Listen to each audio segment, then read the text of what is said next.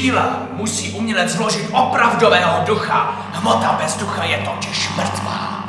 Doktor Alois Riegel říká, že umělec se chtě, nechtě podřizuje vůli umění. Tato Kunstvollen jej jako slepce vede temnotou umělcova nitra. Tak odhalte nám svou intimní tvorbu. Jak jste vyslyšel vůli umění vy?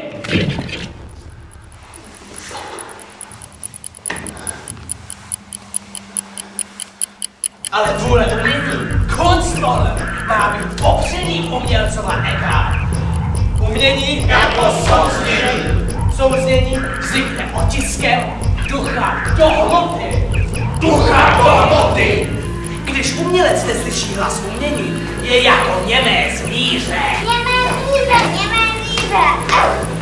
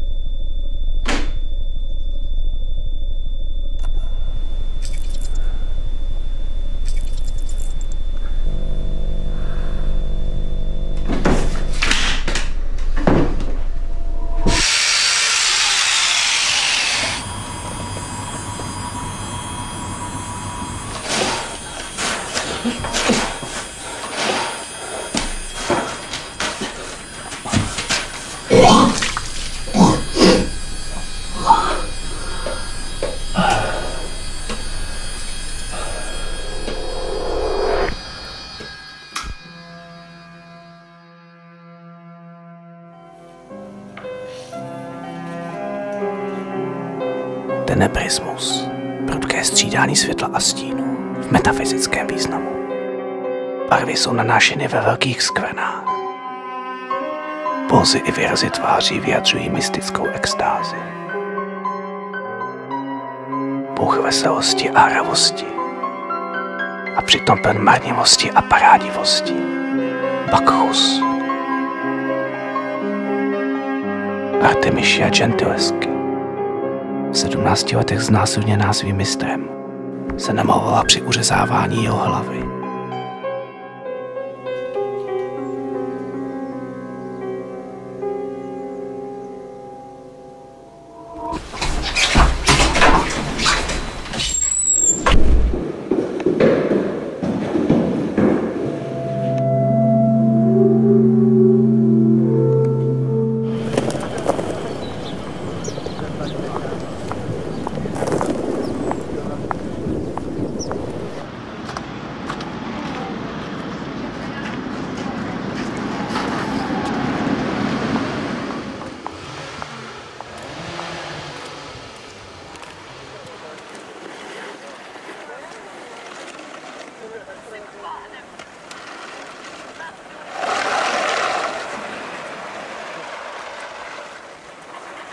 To je hrozný, kolika lidem ta povodeň vzala všechno. Změna je život. Před 20 lety padl komunismus, nyní je na řadě materialismus. Materialismus? Půjdete se mnou na večeři? Proč ne? Podívej se. Caravaggio Merisi i Artemisia Gentileschi.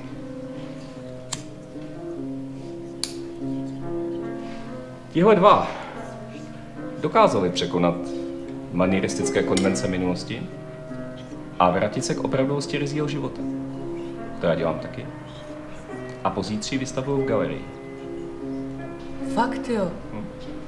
Ty vystavuješ v galeriích? Samozřejmě. Vystavuju každý rok na různých místech. A mimo to jsem i ve svazu výtvarníků. Ty jsi tak šikovnej. Já si připadám úplně neschopně, když tě poslouchám. Nemusíš. Artemisia se taky dokázala prosadit. A jak? No, ona se stala obětí násilí a dokázala ten svůj intenzivní zážitek přetavit do plátna.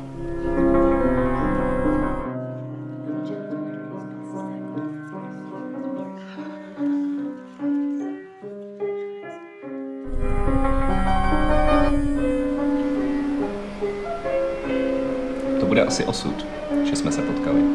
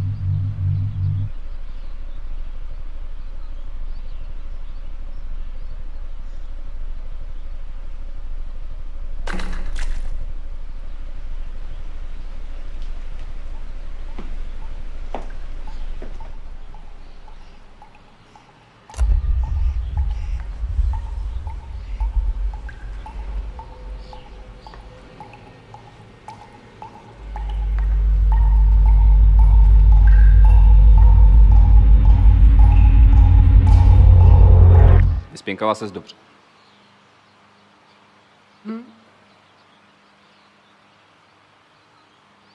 Líbí se ti moje věci. Máš to moc pěkný. A co jsou vlastně tady ty věci na zemi? Tohle.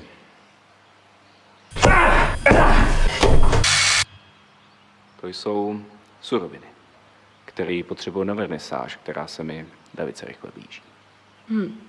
A co s tím budeš dělat?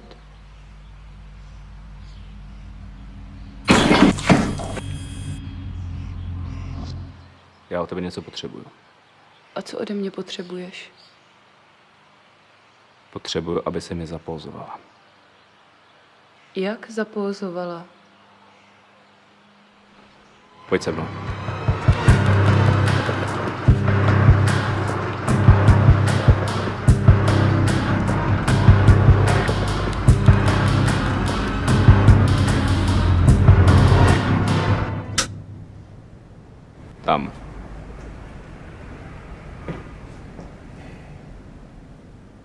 Nelze dosáhnout efektních výsledků na základě nepatrných prostředků. Ruka velkého mistra zanechá stopy výjimečnosti na všem, čeho se dotkne. Ty jsi jediná, která to pro mě může udělat. Uděláš to pro mě. Tak dobře.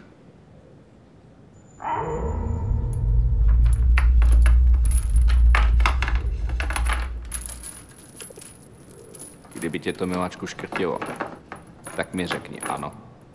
Hmm, dobře.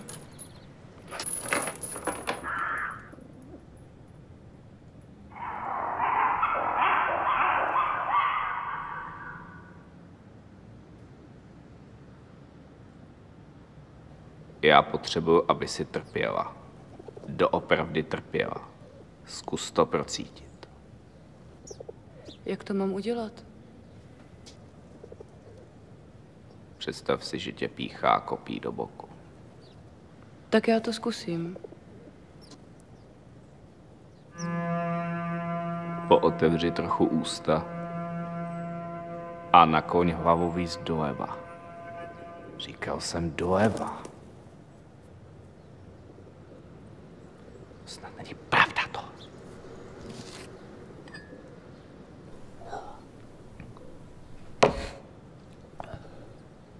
Takhle ne. Takhle ne. Takhle bychom nemohli pokračovat. Tak. Tak. Tak.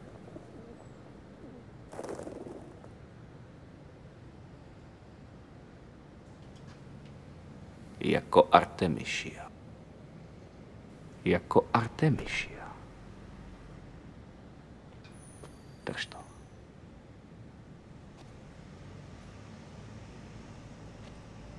Prosím tě, jak dlouho?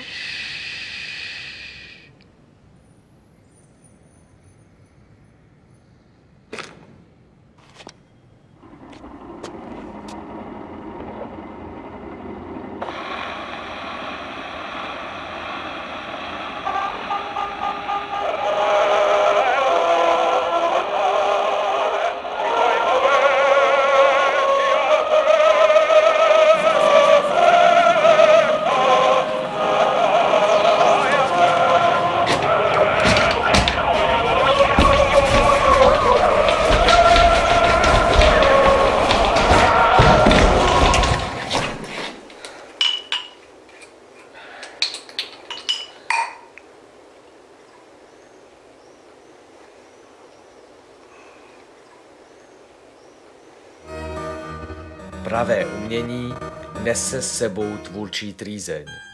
Teprve takovéto utrpení může dílu vtisknout ducha. Ale Artemisia Gentilesky se svým obrazem snaží svého utrpení zbavit. Její obraz je tak spíše terapií, ne odplatou. Zásadní problém vidím v tom, že utrpení zůstává vně jejího díla. Stále je tu tedy výzva využít pokoru trpícího člověka a z ní Stvořit opravdové umění. Nerozumím ti. A kolik je vlastně hodin? Nepřetahuje. Mlč! Chceš mě snad dostat do nějaký schyzy nebo co? Ale miláčku, mě už to škrtí. Já chci dolů. Přeci mě tady nenecháš trpět. Nejsi ve zlatém řezu. Vrať se do zlatého řezu.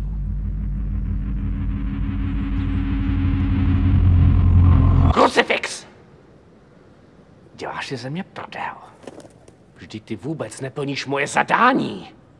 Ale prosím tě, Tohle, to je podle tebe nějaký utrpení nebo co? Koukej dělat, ale koukej dělat, ale pořádně. A dokud si to neprocíš, dokud si to neprocítíš, tak se o tu děvenko z místa nehneme. Přemýšlej o tom. já mám žízeň, prosím tě, dej mi aspoň napít.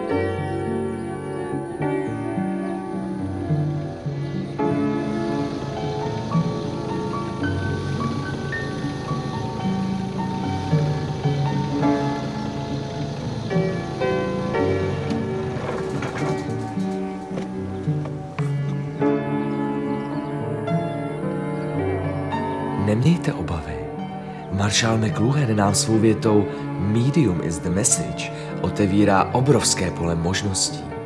Zbořil totiž formální hranice uměleckého díla. Umělcem se tak nestáváte, zejména skrze svou schopnost nacházet čistotu utrpení ve svém bezprostředním okolí. Utrpení krásy i krása trpět. A vy, vy máte ty oči umělce, který nemusí nic hledat. Vy tu krásu vidíte.